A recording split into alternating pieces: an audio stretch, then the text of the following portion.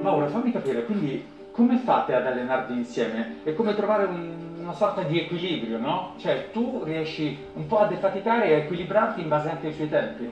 Come vedi, come vedi, sto eseguendo degli esercizi che il coach Andrea Gabba della Federazione Italiana Triathlon ha detto di eseguire per la capacità di corsa. Quindi nel podismo viene eseguito un esercizio che è molto lento, questa si chiama rullata ed è adeguata alla velocità di rotta di questo walking bike.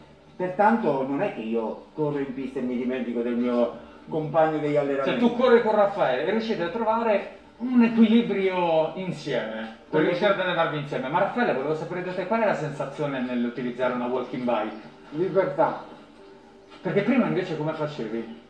Prima si mette la carrozzina. E quindi non potevi fare assolutamente nulla senza la walking bike durante la corsa. Sì, sempre seduto.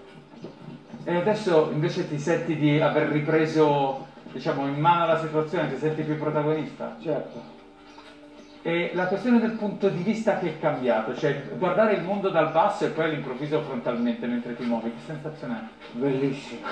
Ripeto, libertà. Eh, Mauro, mi racconti invece per che cosa vi state preparando adesso? Perché so che tra poco inizierete, dopo lo racconteremo ancora meglio, ma proprio un tour di tutta Italia. Sì, gireremo l'Italia in 50 tappe dove associazioni come la nostra potranno provare questo metodo sperimentale nel triathlon nelle discipline di nuoto, ciclismo e corsa.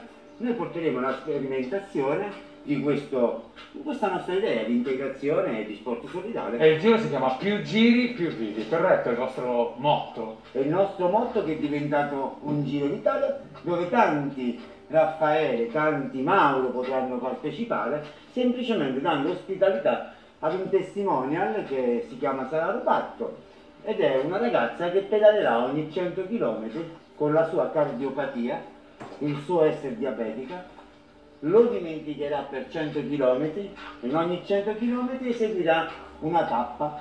Questa tappa si fermerà eh, con un furgone che la seguirà e dei mezzi come questi che saranno adatti a chi ha disabilità o difficoltà problematiche fisiche, potranno utilizzare queste attrezzature nelle loro città semplicemente offrendo una notte. Di Di ospitalità ospitalità. è una forma di pellegrinaggio, è riuscire dal Covid con il rispetto del nostro amore per lo sport e per gli esseri umani. E mettere in pratica la solidarietà. Quello che contraddistingue queste idee credo che sia quella, contraddistingue la solidarietà questo giro. Eh, ed essere, e trovare persone sensibili.